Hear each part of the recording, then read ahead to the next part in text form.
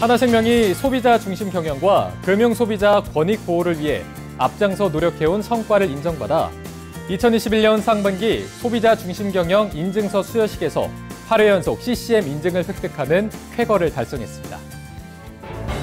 하나생명은 2006년부터 금융 소비자 보호를 위해 콜센터, 온라인, 모바일 등 고객의 소리를 통합 관리하는 한화톡톡을 운영해오고 있는데요.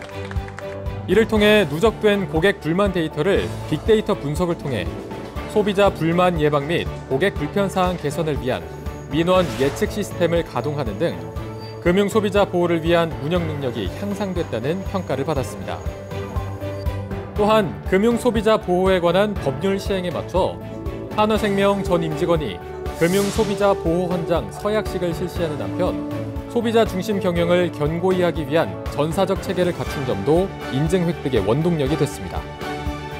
네, 하나생명은 소비자 중심 경영과 함께 ESG 경영을 통해 지속 가능한 기업 발전을 위한 사회적 책임을 다하고 고객의 삶에 더하기가 되는 금융 상품과 서비스를 제공해 나갈 계획입니다.